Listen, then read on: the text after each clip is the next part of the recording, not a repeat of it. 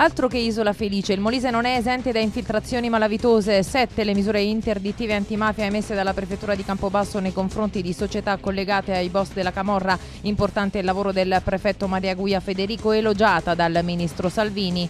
Combattere l'emarginazione offrendo una casa ai senza tetto è il progetto finanziato con un budget di 400.000 euro attivato dalla regione con l'ambito sociale di Campobasso e l'associazione cattolica Schomer. I casi di disagio potranno essere segnalati attraverso un numero d'emergenza. Tecla Boccardo scuote la politica, scelte coraggiose o così non si va lontano. Il segretario della Will parla di vertenze irrisolte, sanità in affanno e CIS da rivisitare. Strisce blu si parte anche a Esernia dopo le vicissitudini legate al bando si può procedere con i parcheggi a pagamento tanti benefici per la città ha dichiarato il sindaco Giacomo da Pollonio che tuttavia ha detto porterò le carte in procura il Festival della Zampogna di Scapoli festeggia la 43esima edizione. Nell'ultimo weekend di luglio tanti artisti nella cittadina della Valle del Volturno. Rispetto al passato sono innumerevoli le novità. Ospite d'eccezione Peppe Barra. Infine lo sport, il calcio, resto a Campobasso fino al 30 giugno, così il presidente Nicola Circelli sul suo possibile coinvolgimento nella cordata interessata al Foggia, poi una stoccata allo staff tecnico. Il secondo anno non si può sbagliare, campagna abbonamenti con prezzi popolari. Bentrovati ad un nuovo appuntamento con le news di Teleregione, lo avete sentito, il Molise non è esente dalle infiltrazioni della criminalità organizzata, il prefetto di Campobasso ha emesso sette misure interdittive antimafia nei confronti di altrettante società che sarebbero collegate agli affari della Camorra. I dettagli nel servizio di Pierluigi Boragine. L'etichetta di Isola Felice è stata riposta nel cassetto da parecchio, anche il Molise non è esente da infiltrazioni mafiose. L'ennesima conferma di una contaminazione che c'è e che va contenuta arriva dalla prefettura di Campobasso, dal prefetto Maria Guia Federico che ha emesso sette misure interdittive antimafia, strumento amministrativo che permette ai prefetti di sospendere le attività economiche di quelle società sospettate di avere un legame, un collegamento con il crimine organizzato. Sono in forte aumento l'allarme lanciato più volte da Raffaele Cantone dell'autorità nazionale anticorruzione, allarme che si è trasformato nella provincia di Campobasso in sette provvedimenti indirizzati ad attività commerciali con sede nella provincia, società sospettate di avere una connessione, un rapporto con la malavita organizzata che sceglie settori illeciti per ripulire denaro sporco e intraprendere attività sane, entrando di fatto nell'economia reale, utilizzando risorse proventi illeciti. Insomma una sorta di lavaggio lavatrice che pulisce ciò che è sporco, rendendo licito ciò che era illecito. Sette provvedimenti emessi dal prefetto di Campobasso Maria Guia Federico al termine di un lavoro incessante. Il numero, rapportato a territorio e popolazione, è ragguardevole e si riferisce al periodo ottobre 2018-aprile 2019. Aziende vere, presenti, visibili, ora sospese, senza alcuna possibilità di avere rapporti con la pubblica amministrazione. Tre a Campobasso, una nel nucleo industriale di Boiano, infine la costa, da sempre terreno appetito da chi vuole inquinare, Campomarino, Termoli, Monte Nero di Bisaccia, dai latticini alle pulizie, dal noleggio auto alla raccolta e smaltimento dei rifiuti, per finire ad una società che gestisce bar, lavanderie e ristoranti, infine l'edilizia e la compravendita di fabbricati, società quasi tutte legate a doppia mandata ai boss della campagna e al cui interno figurano personaggi della criminalità organizzata. Volevano forse passare inosservati in Molise, ma non hanno fatto i conti con il prefetto Federico, elogiato dal ministro Salvini durante il suo recente comizio nel capoluogo di regione. Sta conducendo, le parole del vice premier, un gran bel lavoro contro chi potrebbe aggredire questo territorio con affari illeciti e riconducibili alla criminalità organizzata. Siatene fieri. Ed ora l'appello di Tecla Boccardo, la segretaria della Will Molise, scuote la politica sulla situazione della sanità, sulle tante vertenze irrisolte e anche sul CIS e su ciò che è da rivedere. Sentiamo Servono scelte coraggiose, anche impopolari, per addrizzare la barra in Molise. Ne è convinta la segretaria generale della Will Tecla Boccardo, che riassume la situazione di fatto della regione. In tutti i settori nevralgici dice siamo in difficoltà. La sanità è in affanno, personale allo stremo delle forze, il mantenimento dei servizi minimi è in discussione quotidianamente. Passando per l'ultima battaglia in corso per mantenere aperto il punto nascite di Termoli, elenca e per il pronto soccorso di Campobasso in emergenza. L'elenco delle opere finanziate dal contratto istituzionale di sviluppo, inoltre, che doveva rappresentare il riscatto che viene dal basso, appare alquanto frammentato e senza un'anima, avendo premiato solo parzialmente la filiera tra comuni o la sintesi tra diversi soggetti proponenti. Per la sindacalista va dunque rivisitato per rafforzare e rappresentare un vero percorso di sviluppo per il Molise e non solo un'occasione di spesa. Chi viaggia da Termoli a Campobasso e viceversa ha a che fare con semafori, interruzioni e rallentamenti, intanto torna in in auge la quattro corsie. Benvengano iniziative serie, realizzabili, sostenibili dal punto di vista ambientale ed economico, che una volta per tutte ci aiutino a uscire dall'isolamento, purché, sottolinea la segretaria della WIL, si decida di farle. Infine le vertenze irrisolte, ITR sul tavolo di Conte e GAM con la task force permanente avviata sabato da Regione e sindacati per fare chiarezza su quanto non si sta verificando rispetto agli accordi che il gruppo Amadori ha sottoscritto al Mise. Boccardo aggiunge non abbiamo più tempo per rimpalli di responsabilità, ognuno deve fare la propria parte, assumersi oneri e onori, ma soprattutto non è permesso venir meno agli impegni presi con questa facilità.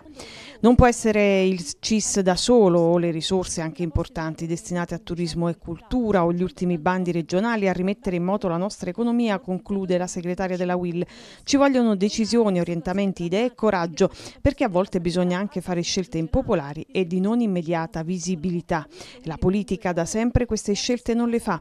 Noi ci faremo trovare pronti nell'offrire il nostro supporto, il nostro contributo e le nostre proposte, ma così come si cammina oggi non andiamo lontani, anzi ci si ferma.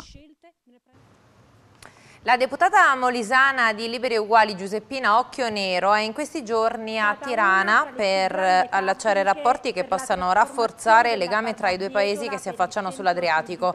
La delegazione italiana ha incontrato imprenditori e amministratori con i quali stringere collaborazioni commerciali e turistiche.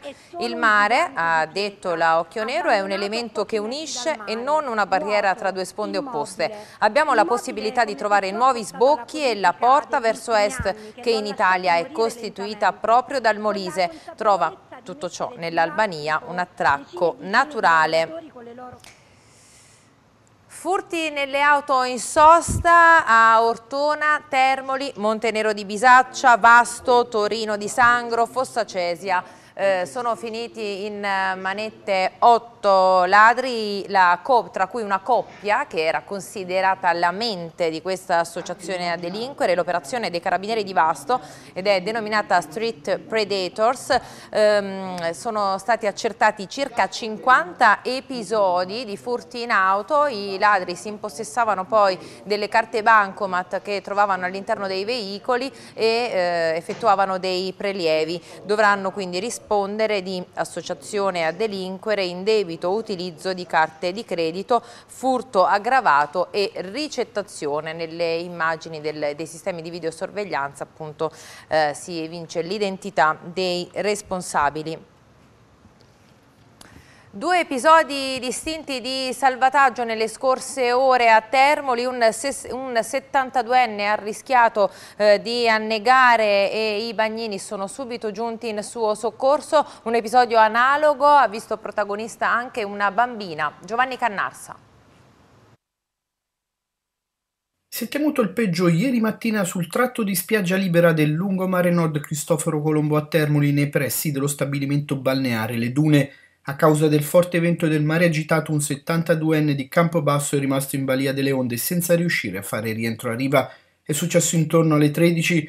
I bagnini del Lido insieme ad altre persone si sono però accorti di quanto stava succedendo e con un moscone sono usciti in mare aperto raggiungendo l'uomo che è stato caricato a bordo e riportato a riva. Era cosciente in buone condizioni di salute ed ha riferito di essere un nuotatore esperto, ma di essere rimasto a diversi metri dalla riva a causa del vento e della corrente. Una volta in spiaggia si è però diffusa la voce che in mare ci potesse essere una seconda persona. A quel punto sul posto sono stati fatti intervenire i vigili del fuoco, i sanitari del 118, i volontari della misericordia e il personale della Guardia Costiera che ha fatto uscire in mare due motovedette che hanno iniziato a perlustrare tutta la zona. A quanto pare però si è trattato di un falso allarme in quanto le ricerche in mare sono risultate vane e spiaggia nessuno ha denunciato la scomparsa di altre persone.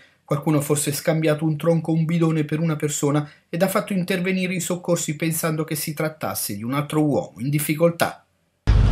Si presumevano due, presumibilmente sì, chi diceva un tronco, un bidone, bidone. Che, che affiorava. Sono stati allertati? Alle 13 circa. Sono le 13. Sì. Buone le condizioni di salute del 72enne di Campobasso che non ha fatto ricorso alle cure del pronto soccorso ed ha potuto continuare la propria giornata in spiaggia. Combattere l'emarginazione e il disagio sociale offrendo delle case ai senza tetto. Su questo verte il progetto della Regione in collaborazione con l'ambito sociale di Campobasso e con l'associazione Schomer. I casi più gravi potranno essere segnalati anche attraverso un numero d'emergenza. Sentiamo di cosa si tratta. Il livello di povertà in Molise lo certifica l'Istat, parla del 30% della popolazione che vive a cavallo della soglia dell'indigenza. Numeri drammatici che spesso però non evidenziano il problema nel problema, quello delle persone senza fissa dimora. Ce ne sono, a Campobasso trovano ristoro nella Casa degli Angeli gestita dalla Caritas. Sono cittadini stranieri, uomini o donne reduci da separazioni, persone arrivate da fuori. La Regione non ha voluto girarsi dall'altra parte rispetto a questo e ha messo in campo un progetto specifico specifico con 300.000 euro di fondi PON e 100.000 euro propri. L'iniziativa verrà attuata dall'ambito sociale di Campobasso e dalla Schomer, associazione cattolica che è il braccio della Caritas diocesana del capoluogo. Ma in allerta saranno anche gli altri sei ambiti del Molise, in modo che emerga il sommerso, ovvero tutte quelle situazioni che per pudore non vengono rese note. Dovremo avere le antenne, ha detto il governatore Toma in conferenza stampa nel presentare un progetto che è storico per il Molise e che si pone però in continuità col grande pacchetto di soldi stanziati per il sociale, incremento delle risorse per i piani di zona, finanziamento dei servizi prima infanzia, finanziamenti per l'inserimento sociale e lavorativo dei migranti, fornitura gratuita dei farmaci di fascia C alle persone affette da malattie rare, definizione del fondo per la non autosufficienza sono solo alcuni degli esempi citati. Questo per lasciare intendere come combattere il disagio e l'emarginazione siano delle priorità priorità per il governo Toma. Nella sala giunta di Palazzo Vitale l'assessore al ramo Mazzuto, che nonostante sia dimissionario ormai da dieci giorni continua a lavorare senza sosta, ha spiegato i dettagli del progetto messo in piedi col dirigente Michele Colavita. Si offrirà una casa, per massimo un anno, ai maggiorenni che temporaneamente sono in Molise e sarà attivato anche un numero per segnalare le emergenze. Laddove parliamo di migranti bisognevoli di attenzione non parliamo della massa ma parliamo di quelle poche persone, possiamo parlare anche una decina di unità, ma forse al di, al di sotto anche di una decina di unità eh, che sono fuori dai centri di assistenza, di accoglienza. Quando parliamo di eh, separazioni familiari, l'intervento è su quelle situazioni familiari più gravi, laddove ci sono sì, genitori dire, in, eh, in difficoltà. Tutte queste persone potranno avere accesso a una casa che sarà messa a disposizione? Assolutamente sì, questa è la prima fase ma esiste anche una seconda fase di questo progetto che prevede dire, un, uh, tirocini formativi, eh, una rimessa in, eh, in, condizioni di poter continu continuare a sperare in una società migliore anche per loro che hanno subito uh, dei danni sociali se vogliamo, insomma vogliamo metterla così. Elogi dall'arcivescovo Brigantini e da Don Franco Donofrio che sono da sempre in prima linea con i ragazzi della Caritas per aiutare gli invisibili.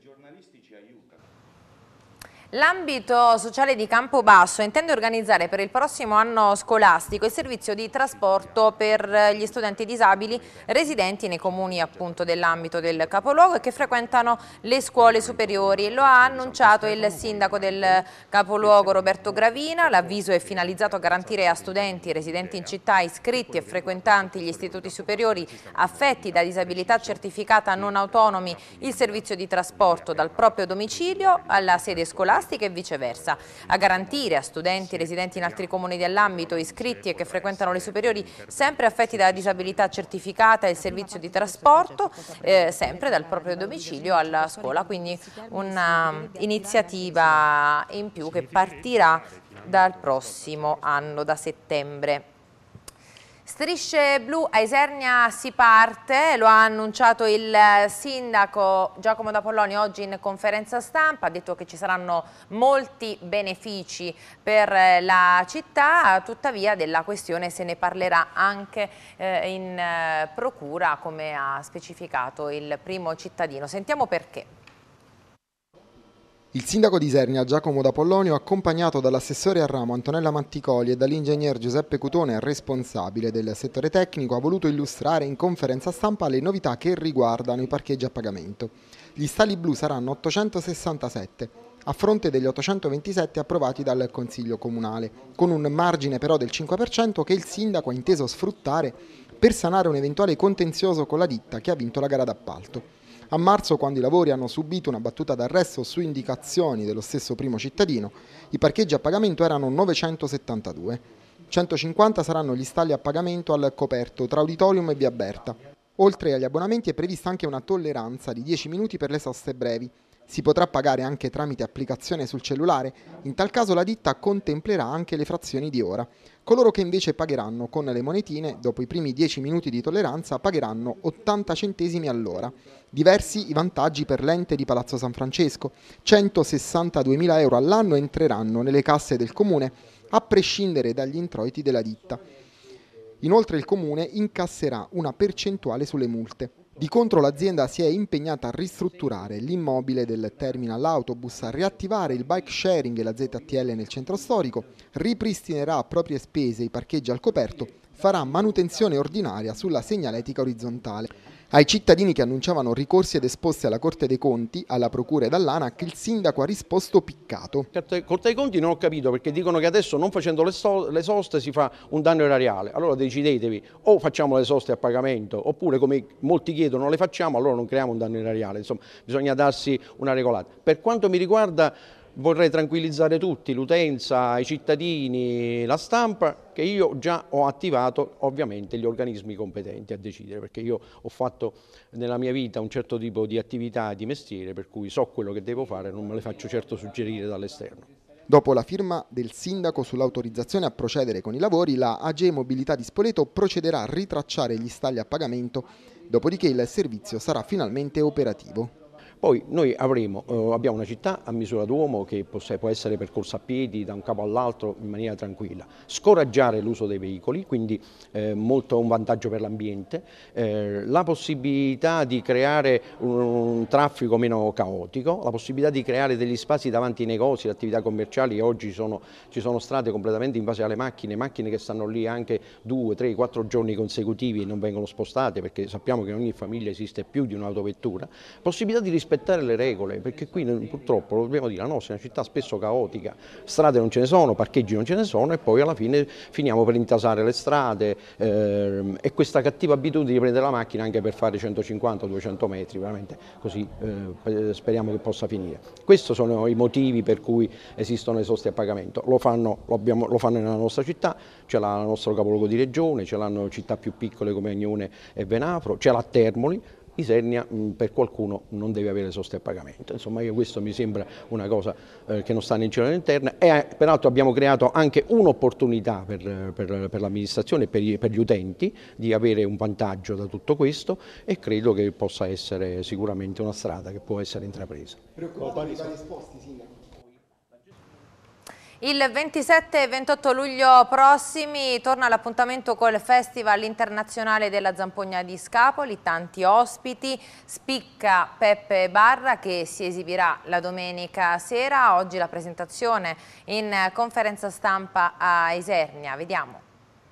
Nel programma anche le novità, Tutto pronto per la 43esima edizione del Festival internazionale della Zampogna di Scapoli. Il programma è stato presentato nei locali del Musec proprio per esaltare il concetto di tradizione, di arte che è il mood di quest'anno. Tantissimi ospiti eh, di fama internazionale, anche stranieri, su tutti eh, spicca Peppe Barra che si esibirà a conclusione del festival, quindi la domenica sera. Alla presentazione ha partecipato anche l'assessore l'assessore regionale al turismo Vincenzo Cotugno che ha sempre creduto in eh, questa iniziativa ormai storica di cui abbiamo parlato col consigliere delegato al turismo Stefano Izzi e col direttore artistico Cristian Di Fiore. Quest'anno siamo arrivati alla 43esima edizione del festival, un appuntamento storico molto importante.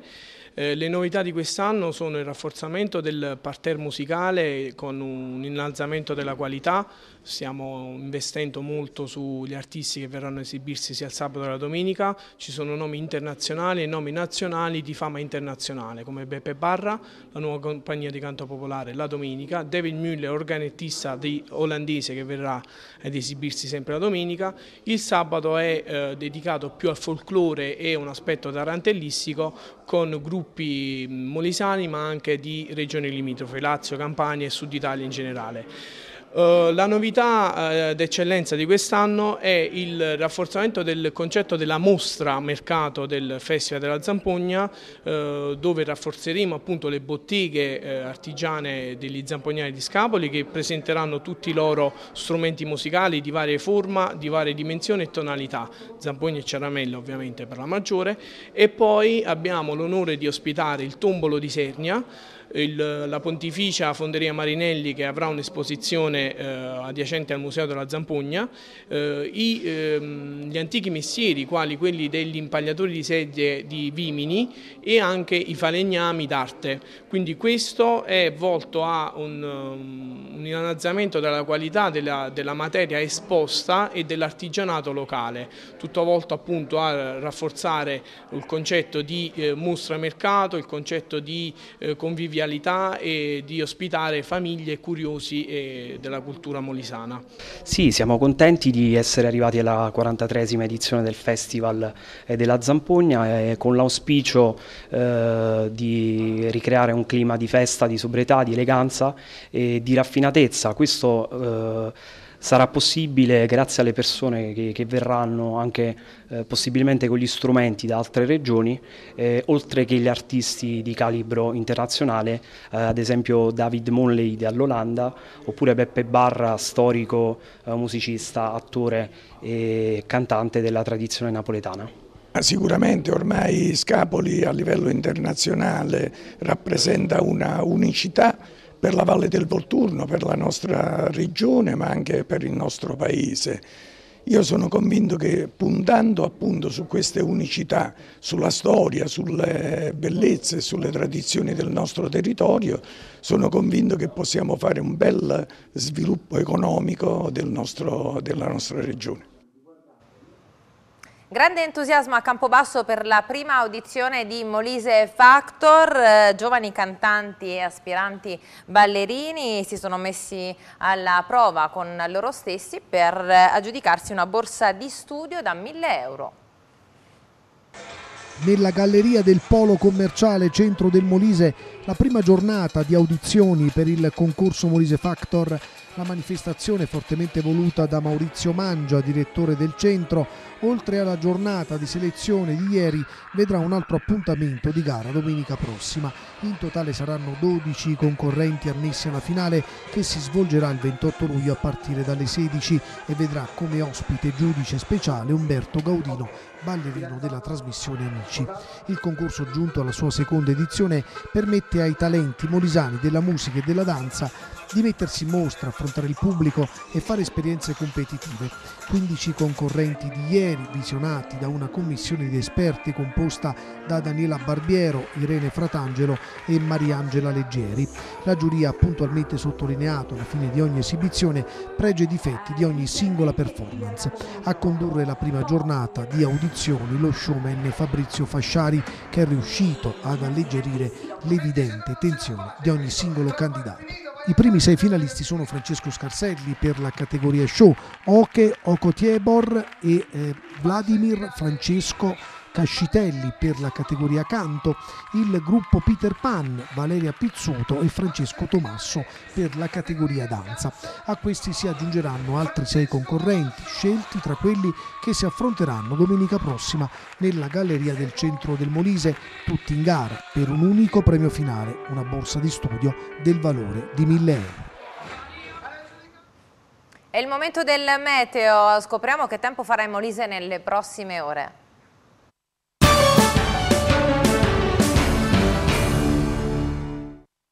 Previsioni del tempo di martedì 16 luglio. L'anticiclone resta sbilanciato sul Mediterraneo occidentale, favorendo la discesa lungo il suo bordo orientale di correnti fresche. Tempo in nuovo peggioramento con nuovi rovesci e temporali. Migliora entro la serata con il ritorno a cieli sereni o poco nuvolosi, venti moderati dai quadranti nord-occidentali in rotazione a settentrione, mare poco mosso. Ecco le temperature, Campobasso minima 15, massima 22 gradi. Isernia 16-25, Termoli 17-27, Benafro 17-28. Ed ora solo qualche istante di pausa, restate con noi perché tra poco c'è la pagina sportiva.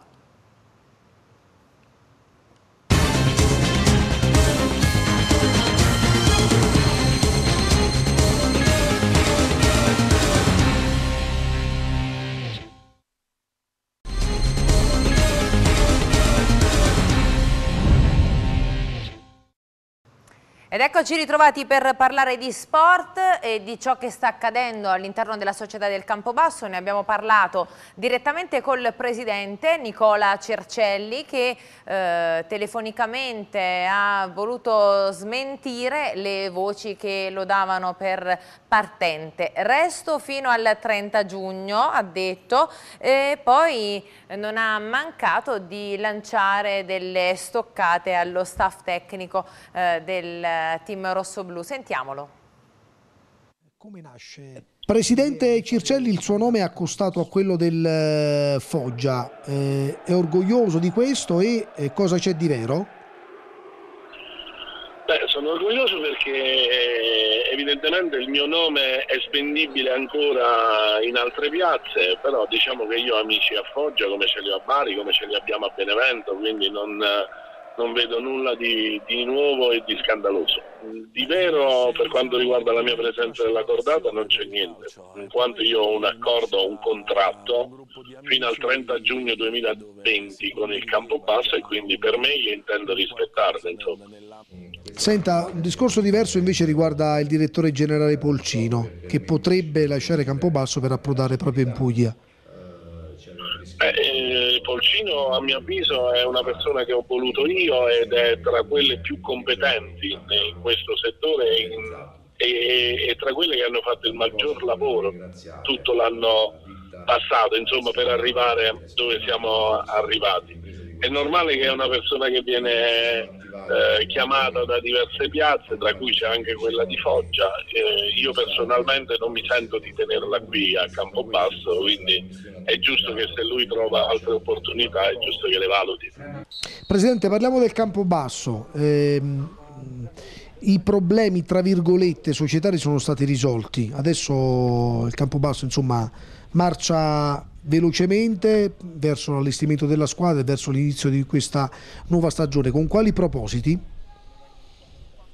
Eh, io da contratto non mi occupo della parte tecnica, quindi chi se ne occupa si assumerà oneri onerosi, si assumerà tutte le responsabilità sia in negativo che in positivo. Presumo che debba fare una, una, squadra per poter competere, il secondo anno non, non ci possiamo permettere di sbagliare era quello che io o meglio, per noi, a, a inizio insomma, stagione, mettiamola così, volevo fare con, con, il Benevento, solo che è stata considerata una, una succursale del Benevento. Non lo è più del Benevento, vediamo quello che succede, però bisogna attrezzare una squadra per vincere quest'anno, se no si fallisce. E la campagna abbonamenti del Campobasso dovrebbe partire alla fine del mese. Si sta pensando a dei prezzi popolari per andare incontro alle esigenze della tifoseria e cercare di coinvolgere il maggior numero di sostenitori possibili per eh, garantire eh, un'annata con un discreto numero di spettatori. Ed ora parliamo di Calcio a 5, il circolo, la nebbia Cus Molise è ufficialmente in Serie A2. Oggi pomeriggio il direttore generale della società Gilberto Griguoli ha inviato agli organi competenti il materiale necessario per permettere alla squadra del capoluogo di presentarsi ai nastri di partenza della categoria superiore dopo la vittoria dei playoff di B nella scorsa stagione. Un primo passo importante per una nuova grande avventura di cui sarà protagonista non solo Campobasso ma tutto il Molise. Quello di oggi è un giorno da ricordare per il CLN, CLN scusate, Cus ha spiegato l'avvocato Griguoli. Siamo ufficialmente in Serie A2 abbiamo compiuto un primo importante passo verso quella che sarà per noi una nuova avventura sportiva. Abbiamo lavorato tanto per mettere ogni tassello al proprio posto e ci siamo riusciti nei tempi e nei modi che ci aveva richiesto la federazione Restiamo a parlare di calcio a 5 ma andiamo in Serie B perché c'è un'altra new entry nelle file dello Sporting Venafro. Tra i pali la formazione affidata a mister Massimiliano Matticoli potrà contare su Christian Tomei, 28enne al quarto torneo cadetto, elemento di grande prestanza fisica, è alto 1,85 m per 90 kg di peso, è un giocatore solido, tra i pali, forte nell'uno contro uno. Tomei va ad aggiungersi alle altre new entry Melfi e Natale e ai confermati Di Paolo, Andreozzi, Corsetti, Valvona, Iacovino, Labella, Valletta e Rosni. Complessivamente per il team venafrano ci sarà un organico a 15 con altri tre colpi in canna e c'è un ingresso nuovo anche nello staff dello Sporting Venafro a dare un supporto al tecnico Massimiliano Matticoli ci sarà il match analyst Andrea Pietrunti sono davvero felice, ha detto, di entrare in questa grande famiglia, voglio dare il mio contributo per raggiungere gli obiettivi che si è posta la società. È tutto per questa edizione che come sempre vi ricordo potete rivedere online collegandovi alla pagina Facebook di Teleregione oppure al nostro sito teleregionemolise.it. Grazie di essere stati in nostra compagnia, arrivederci.